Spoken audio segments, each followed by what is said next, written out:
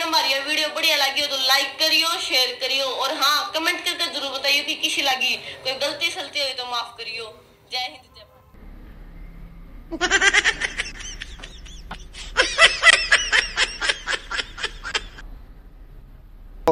अंग्रेज़ी की ए B C D लिख दो भाई। A B C D E F G H I J K L M N O P Q R S T X Y Z Haryana board एक एक number के person को हम सोल्व करेंगे। तो उसका नेतृत्व कौन कर रहा है उसका नेतृत्व हम कर रहे हैं। ये बात समझ में आ गई तो खेल खिलौना है।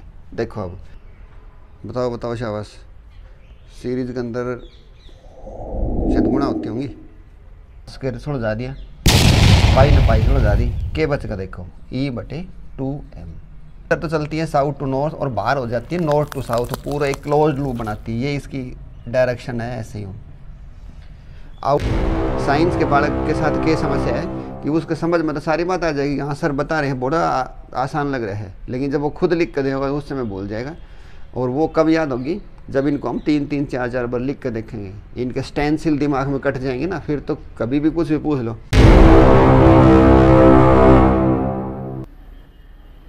Magnetic flux has low resistance and capacitance ये एक डायग्राम ठीक है।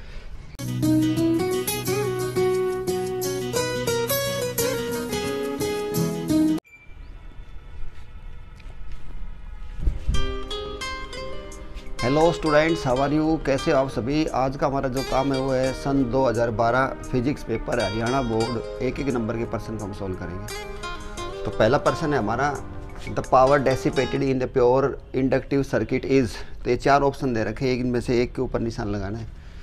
तो इंडक्टिव सर्किट क्या होता है? इंडक्टिव का मतलब प्योर प्योर इंडक्टिव का मतलब कि ऐसा सर्किट जिसके अंदर खाली एक इंडक्टर लग रहा हो, और एक एसी एसी का तो यही हो गया। तो इसके अंदर कितनी पावर खर्च होगी? ये हमने पर्सन बताना है। डेसिपेटेड का मतलब खर्च होना। और प्योर इंडक्टिव का मतलब अकेला एक ही होगा। प्योर मीन्स ओनली वन होगा। तो भाई, ये फार्मूला बताना हमने। तो ये पावर का फार्मूला होगा P is equal to V I cos phi और ये हो गया। ये ऐसी सोर्स है। तो V और I के बीच के अंदर इंडक्टर के अंदर जो फ़ेज़ डिफरेंस होता है, जो एंगल होता है, वो होता है ये मैं एक चाबी दे दूँ आपको? चाबी। चाबी है। चाहिए वो प्योर इंडक्टर हो। प्योर इंडक्टर हो। चाहिए प्योर कैपेसिटर हो। यहाँ पे अगर सेल लगा दे तो वो प्योर कैपेसिटर कहलाएगा। तो प्योर इंडक्टर हो, इनके बीच में वी और आई के बीच में जो फ़ेज़ डिफरेंस होता है, वो होता है 90 डिग्री का। वी और आई के बीच में इसमें भी कितना होता है? 90 डिग्री का। ठीक है स्टूडेंट्स इसको हम फाई से भी लिख देते हैं डेल्टा से भी लिख सकते हैं। अच्छा और अगर प्योर कैपेसिटर होता प्योर रजिस्टर होता प्योर रजिस्टर होता तो वी और आई के बीच में जो एंगल है ना, वो कितना होता? है ज़ीरो डिग्री ठीक है, यहाँ से हम उठाएँगे। और एक चाबी और भी दूँगा मैं यहाँ पे, कि इनमें से किसी के अंदर करंट आगे होता है वोल्टेज पीछे होती है कि- किसमें कौन आगे, कौन पीछे है, उसके लिए भी एक चाबी लेके आया हूँ आपके लिए। वो चाबी भी देंगे। तो फ़िलहाल इस पर्सन को कर देते हैं पहले। तो अब देखो, V और I के बीच में एंगल कितना है? 90 डिग्री तो P is equal to V I cos 90 और कोस 90 होती है ज़ीरो तो पावर कितनी आ जाएगी? ज़ीरो तो इनमें देखो, हमारे कहीं ज़ीरो दे रखे हैं तो उस पर निशान लगाएँगे। ये हो गया ज़ीरो ठीक है? ये तो थी, ये एक पर्सन हो गया। अब कई बार प्रश्न आता है कि इनके अंदर जो है वो कौन आगे, कौन पीछे होता है? वो हम देखेंगे वो पर्सन को। उसकी अब एक चाबी है, मैंने बहुत ही काफ़ी सर्च करके उस चाबी को बनाया है। तो डियर स्टूडेंट्स ये वो चाबी जो परमानेंट हमारी याद होने वाली है, इससे संबंधित कितने भी पर्सन आओ एक एक नंबर को उनको सबको हम सोल्व करेंगे। तो ये चाबी याद होने के बाद आपके दिमाग में कभी भी कोई भी कन्फ्यूज़न नहीं होगा। ये चाबी देखो हमने बनाई है बहुत ही मेहनत से।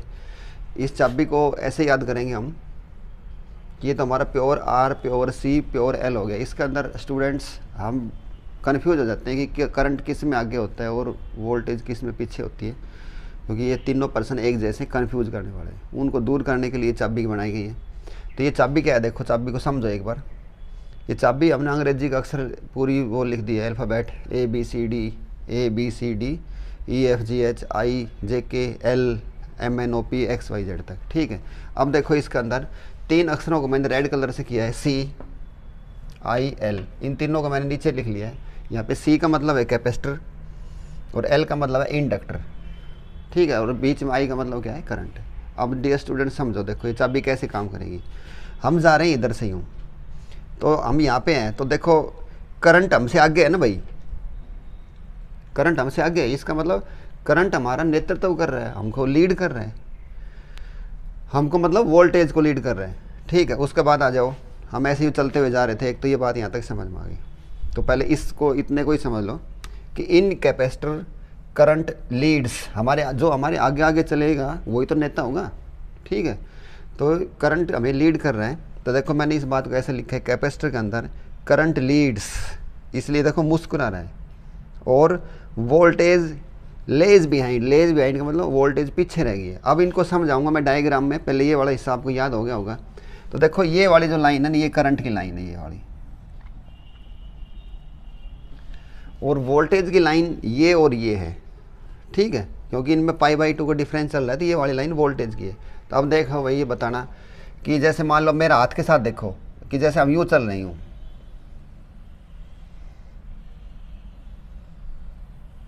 ठीक है? और यूँ जो चल रहे हैं ना तो ऐसे इसके अंदर से एक वेव निकलती हुई जा रही हूँ।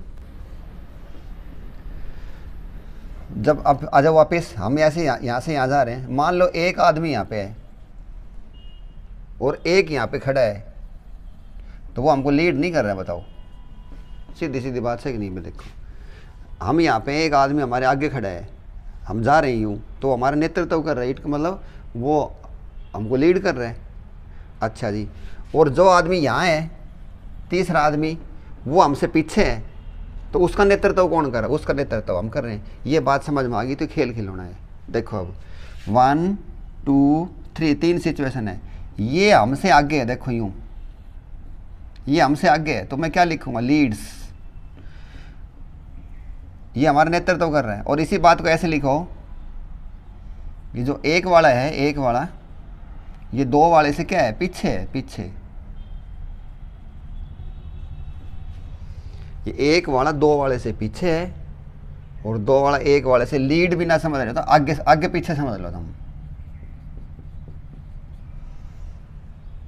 दो वाला एक वाले से आगे है और ये ऐसे उल्टा। इसी तरह यहाँ पे बताओ। हाँ मैं ऐसे चल रही हूँ। ये हमसे पीछे था। हमसे मतलब इस वाली लाइन से। तो ये हो गया जी, देखो तीन वाला अगर हम यू देखें यूँ तो पीछे है। और एक वाला इससे आगे है। सीधी सी बात समझ में आ गई होगी। इतने तो हम सियाणे बालक हो अब आ जाओ देखो। पर्सन में आ जाओ। कैपेसिटर वाला पर्सन, इसमें ये सारी ये लाइन करंट की लाइन आई आई।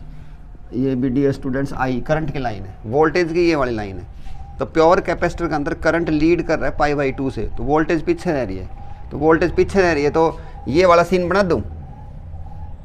वोल्टेज पीछे है तो मैं यहाँ पे वी एल लिख दूँ। और कितना एंगल पे? पाई बाई टू पे। ये लो जी। क्लियर सदा के लिए एफ़ होगी। अब चलो परली तरफ़ इंडक्टर के अंदर। इंडक्टर के अंदर देखो, अब हम इंडक्टर पे चले गए तो देखो करंट हमसे पीछे है ना? करंट जो है, वो पीछे है। यही बात मैंने लिखी है इंडक्टर के अंदर। करंट लेज लेज का मतलब पीछे करंट पीछे इसलिए इसका इसका फेस देखो कैसा हो गया। और वोल्टेज इससे आगे है तो वोल्टेज इसको मुस्कुरा रही है। तो पीछे आगे वाली वही कंडीशन जो मैंने यहाँ पे समझाई, वही लगाएँगे हम। तो इसके अंदर जो है ना, करंट पीछे है, वोल्टेज आगे है। तो करंट पीछे है तो मतलब ये हो गया अपनी वी एल करंट पीछे है देखो, ये हो गया। कितना? पाई बाई टू से। तो करंट पीछे हो गया, वोल्टेज आगे होगी। अब इस पर्सन को देख लो। ये दिमाग में तस्वीर बना लो और देखो वोल्टेज लीड कर रही है ना इससे। अपना हाथ को हमेशा ऐसे चलाया करो, देखो यूँ। यूँ। ये हमारे आगे आगे चल रहा है। हम यहाँ पे हैं, वो यहाँ पे है तो वो लीड कर रहे हैं। हम यहाँ पे, वो पीछे है तो वो ये हमसे पीछे है तो हम इसको लीड कर रहे हैं। ठीक है। इस तीर का निशान का मतलब है लीड्स। और इस तीर का निशान का मतलब है पीछे होना। ठीक है? वोल्टेज करंट से पीछे है और हम इससे है। तो ये हो गया। अच्छा आगे आ जाओ। प्योर रजिस्टर बच गया। प्योर रजिस्टर के अंदर कोई आगे पीछे नहीं है। सब साथ चलते रहते हैं। वी बी और आई बी इसलिए इनके बीच में एंगल कितना है? Phi is equal to zero degree इसके अंदर कितना है?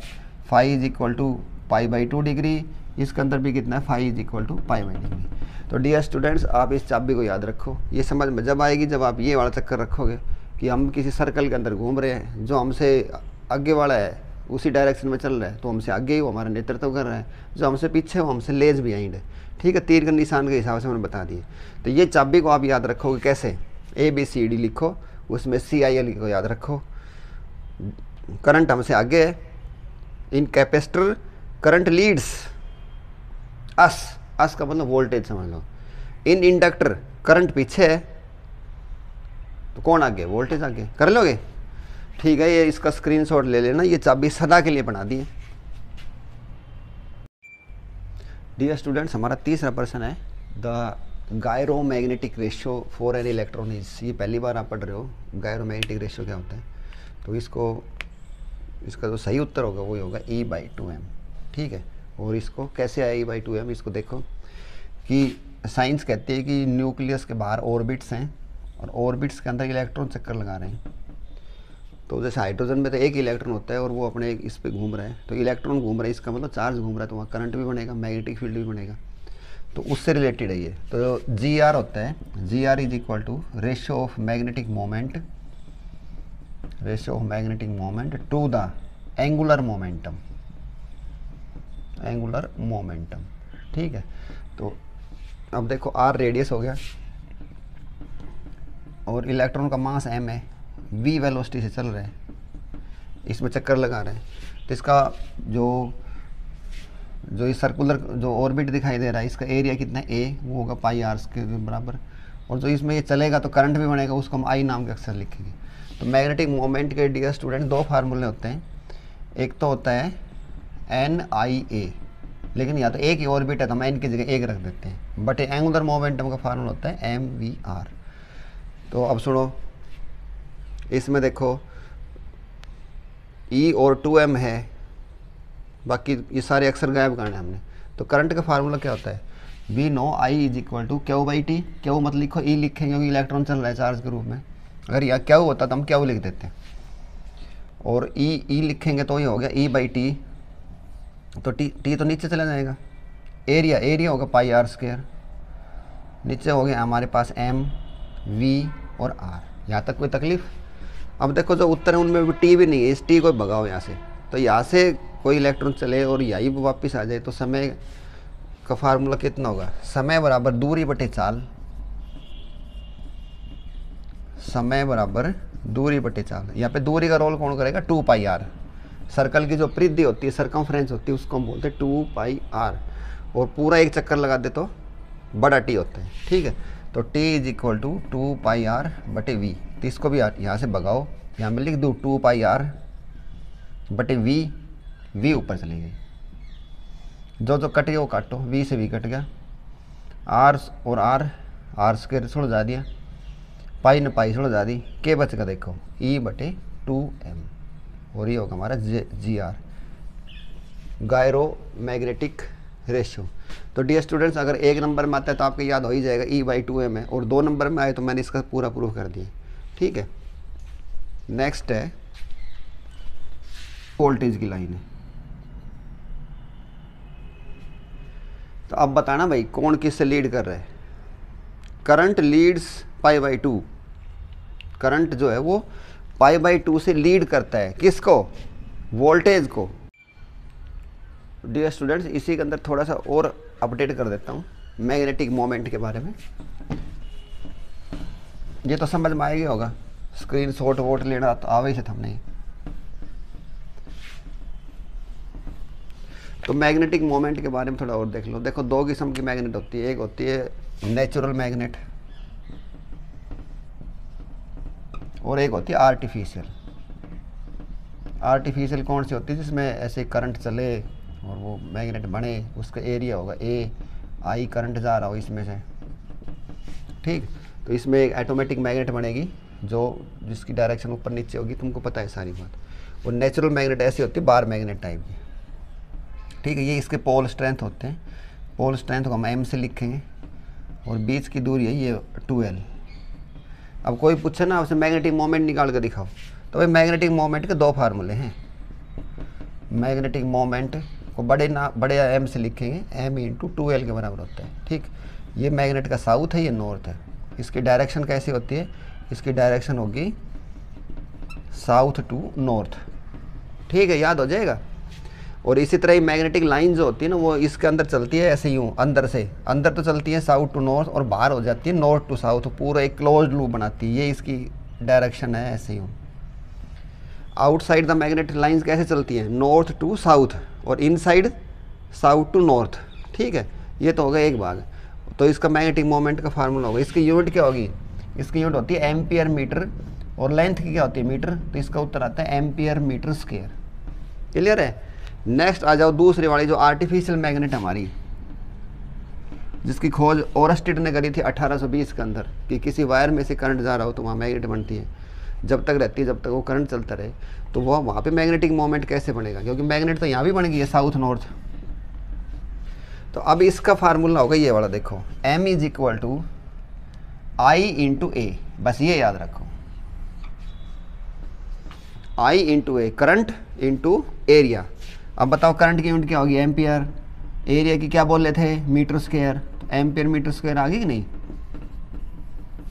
तो देखो मैग्नेटिक डाइपोल मोमेंट जो है वो, इसकी यूनिट एम्पियर मीटर स्क्वायर है। नेचुरल के हिसाब से आर्टिफिशियल के हिसाब से उतनी है।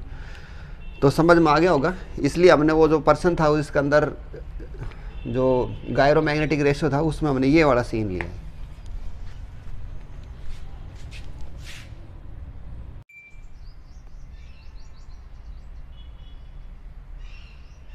पाँचवा पर्सन है। Magnetic field inside long solenoid long solenoid having N turns per unit length carrying current I is तो डियर स्टूडेंट्स ये एप्लीकेशन है एम पी सर्किट ला की। और इसमें एक सोलिनाइड होता है, ऐसे ही देखो पेन का सा स्प्रिंग सा। इसमें आई करंट एंट्री होती है आई करंट बाहर चला जाता है। एन क्या है?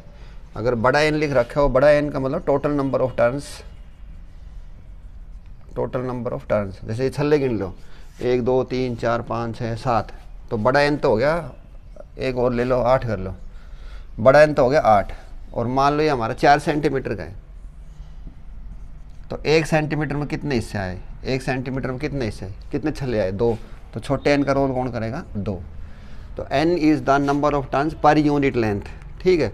तो इसका उत्तर बताओ भाई, इसका उत्तर होगा, याद कर लियो। B is equal to mu naught N I इस पर टिक का निशान लगा दो। समझ में आ गई? और यहाँ पे अगर ये ऐसे छल्ला होता है, ऐसे देखो एक रिंग होती, और रिंग के अंदर अगर ये ऐसे लपेट रखा होता तो भी यही उत्तर आता B is equal to mu naught N I अब इसको सोलिनाइड नहीं बोलते, इसको हम बोलते टोराइड क्या बोलते? टोराइड ठीक है? उसके बाद है area of cross section of a metal is doubled keeping its length same then its resistance तो नया रेजिस्टेंस क्या होगा? Metal wire is doubled the area of cross section metal wire is doubled तो देखो ये याद रखो R is equal to rho L by A dear students वो कहता है कि इसका एरिया डबल्ड कर दिया। Keeping its length same keeping its length same then its resistance is length same है एरिया डबल है। तो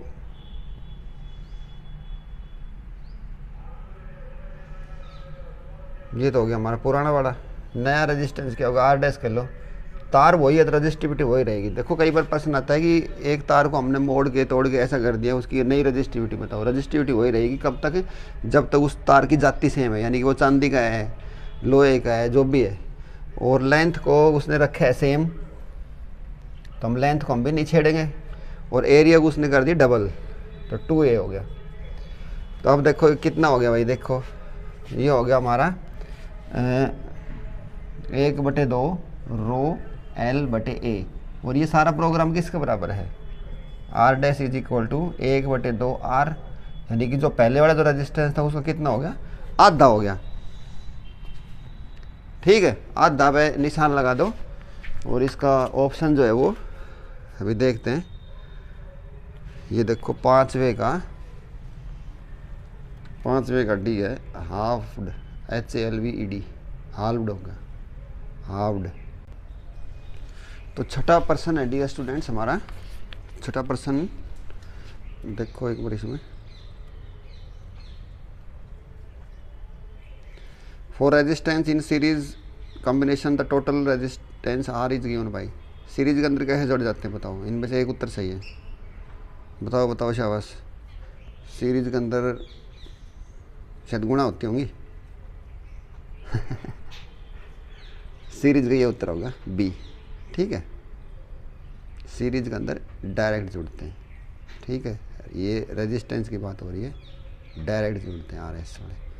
अच्छा अगला बताओ चार्ज और न्यूट्रॉन इज़ ये तो है भाई प्रोटॉन का प्लस वाला। ये है किसका? इलेक्ट्रॉन का है।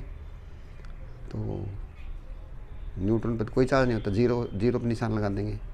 The energy density of an electron electric field is energy density of an electric field is ये होती है एक बटे दो एप्सिलॉन नोट ई स्केयर इसको हम करेंगे। और dimension of capacitance as unit of resistivity ये देखो सामने। तो अब देखो सामने बोर्ड में। तो सीरीज़ कॉम्बिनेशन में क्या कर दूँ बताओ? सीरीज़ कॉम्बिनेशन में आओ कहोगे सर? सीरीज़ कॉम्बिनेशन रेजिस्टेंस के अंदर ऐसे होती है direct R S is equal to R one plus R two plus R three और पैरल में होता तो पैरल में होता तो एक बटे करके करते हम। ठीक है? और मान लो ये पैरल में है। ये होगी आर वन आर टू तो एक बटे R P is equal to एक बटे आर पी कैसे निकालोगे? पैरल के अंदर ये बटे हो जाते हैं। ठीक? और इसको सोल्व करने के बाद हम कर देंगे। Next charge on neutron is charge on neutron is zero the energy density of an electric field is एक बटे दो एप्सिलॉन नॉट ई स्क्वेयर ये कैसे आता है देखो? एनर्जी डेंसिटी ऑफ़ कैपेसिटर वाला पर्सन है। जैसे डेंसिटी क्या होती है? डेंसिटी होती है मास बटे वॉल्यूम तो ये होगी हमारी एनर्जी बटे वॉल्यूम एनर्जी बटे वॉल्यूम को बोलते हैं एनर्जी डेंसिटी ठीक है, थोड़ा समझ में लो यहाँ से। एनर्जी का फार्मूला क्या होगा? एनर्जी का फार्मूला होता है एक बटे दो C V square energy of the capacitor का फार्मूला है, एक बटे दो सी वी स्क्वेयर और वॉल्यूम वॉल्यूम होता है जैसे ये कैपेसिटर हमारा, ये इसका एरिया ऑफ़ क्रॉस सेक्शन है, इसकी डी तो ए इंटू डी इन दोनों, इन जो जो हमने लिखा है, इसके अंदर एक बार सी को गायब कर दो और एक बार वी को गायब कर दो. तो पीपीसी का सी का मान होता है C is equal to epsilon not A by D और वी होती है इलेक्ट्रिक फ़ील्ड का फार्मूले से ई तो V is equal to E D this implies V is equal to E D ठीक है स्टूडेंट्स तो इनको रखो अपना उत्तर आएगा, देखना ये बड़ा ही। इस दो को नीचे ले लूँ? सी वी स्केयर बटे डी सी की जगह ये मान रखेंगे। एप्सिलॉन नोट ए बटे डी वी की जगह ये रखेंगे ई डी तो ये हो गया ई स्केयर डी स्केयर और नीचे कौन कौन है? ए और डी नीचे कौन कौन है अपना? ए और डी और दो भी था यार भाई। अब देखो के के कट गया भाई। ए से ए कट गया डी और डी डी स्केयर हो गया। एक डी स्केयर ही होगा। कट गया। तो के बच गया। एक बटे दो एप्सिलॉन नॉट ई स्केयर ये लो एक नंबर में पूछा तो वैसे याद रखो, सीधा ही। और नु भाई, हमने तो निकाल के दिखाओ, दो नंबर में आ जाए, तीन नंबर में आ जाएगी derive expression for the energy density of the capacitor ये सीधी सी दो बात लिखनी है। जब भी हम डेंसिटी की बात करते हैं डेंसिटी का मतलब होता है मास बटे वॉल्यूम तो लेकिन एनर्जी डेंसिटी की बात कर रहे हैं तो स्टूडेंट्स यहाँ पे क्या लिख देंगे हम?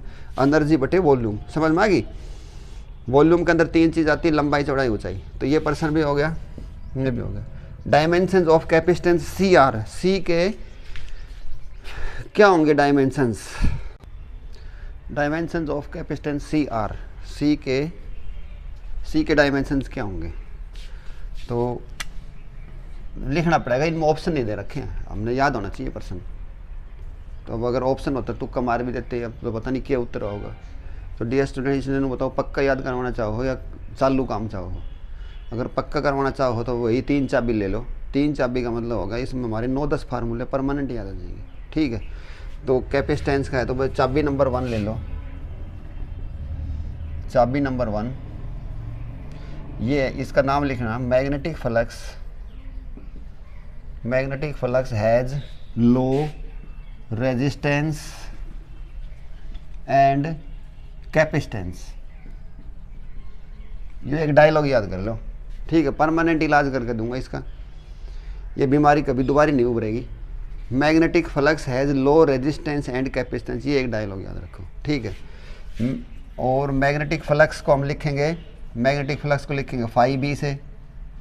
हैज़ तो डायलॉग का है। एल का मतलब वही एल जो आज हमने वीडियो की स्टार्टिंग में एल सी आर पढ़ रहे थे, ये हो गया हमारा आर एंड भी वैसे ही है और ये होगा सी तो डियर स्टूडेंट्स ये चार फार्मूले याद होंगे। ये डायलॉग याद रखो। Magnetic flux as low resistance and capacitance ये डायलॉग है हमारा।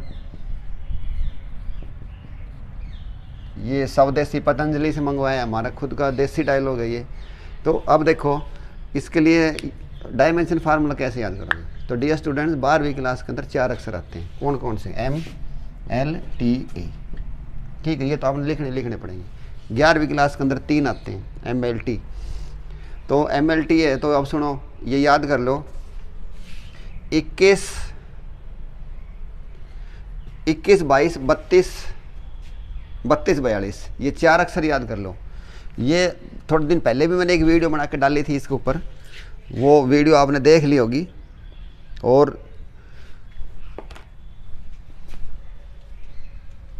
तो क्या क्या याद करना है बताओ? बारह, इक्कीस, बारह, बाईस, बारह, बत्तीस, बारह, बयालीस। ये चार लाइन याद रखनी है। ठीक है। अब देखो, इनमें ये दोनों के बीन के पीछे माइनस रखो।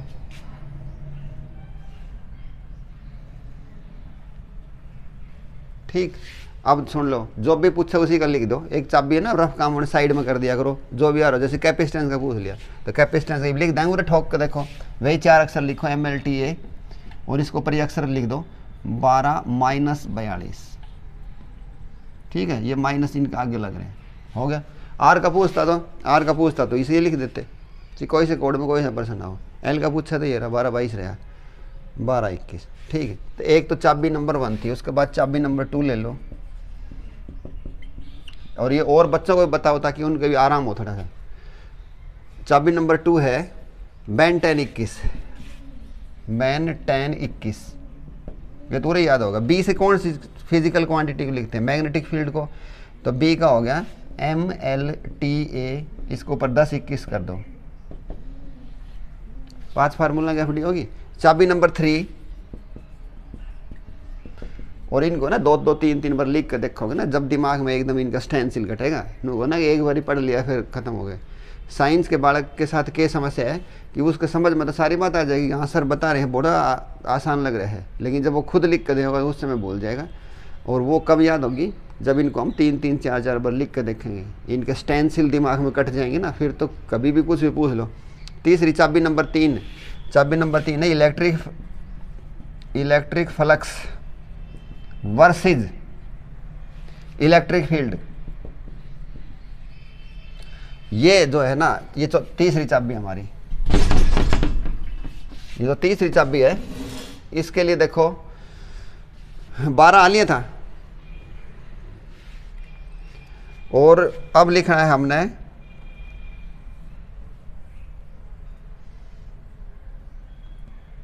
इलेक्ट्रिक फ्लक्स से किस, किसको लिखते हैं? फाइव ई को। वी वी का मतलब पोटेंशियल डिफरेंस पी डी इसको पोटेंशियल डिफरेंस वोल्टेज भी इलेक्ट्रिक फ़ील्ड का होगा ई e। ठीक है, इसके लिए डियर स्टूडेंट्स ग्यारह, बारह, तेरह. ये याद रखो, ग्यारह, बारह, तेरह. ठीक है, और सब के पीछे इकतीस लगा दो. माइनस इकतीस माइनस इकतीस. अब कोई भी पूछ ले, कोई पूछे, भाई इलेक्ट्रिक फ्लैश का बताओ दो भाई, एक मिनट जा. एम एल टी है ऊपर ये चार अक्षर फिट कर दो. पोटेंशियल डिफरेंस का बताओ। वही काम इसी तरह इलेक्ट्रिक फ़ील्ड का तेरह इकतीस। ठीक है? तो ये जो है ना, याद रखो, इनके चाबी को बार बार बार बार बार बार लिखो। और हम देखो इसके अंदर,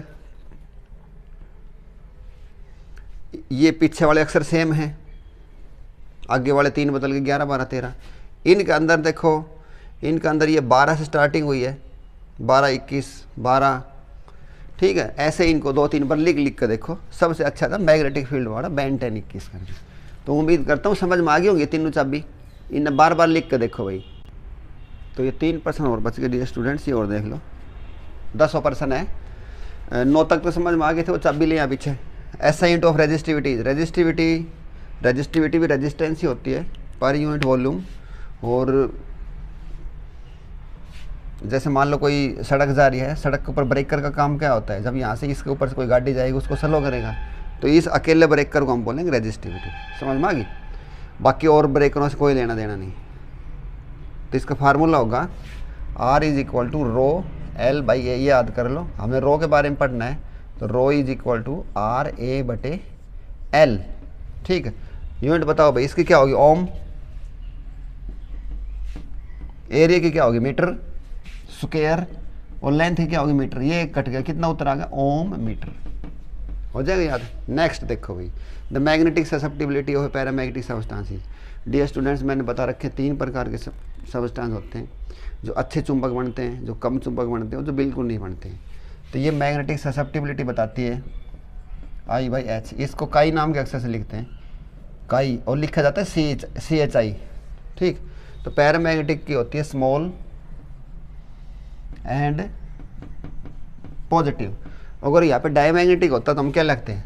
स्मॉल एंड नेगेटिव ये होगी डाया की। ये किसकी है? पैरा की।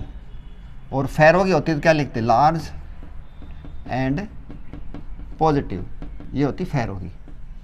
इसको मैं बताता हूँ कि जैसे मान लो एक क्लास के अंदर हम बच्चों को पढ़ाएँ, वो 90 प्लस से ऊपर नंबर आए, उनको हम बोलेंगे फेरोमैग्नेटिक जिनके 60 प्लस आ गए। उनको हम बोलेंगे स्मॉल एंड पॉजिटिव है पैरामैग्नेटिक है।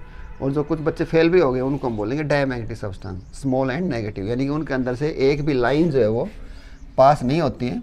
जब उसको मैग्नेट बनाने के लिए किसी मैग्नेटिक फ़ील्ड में लिख के जाएँगे तो सारी की सारी लाइन जो है उनके सिर के ऊपर से जाती है।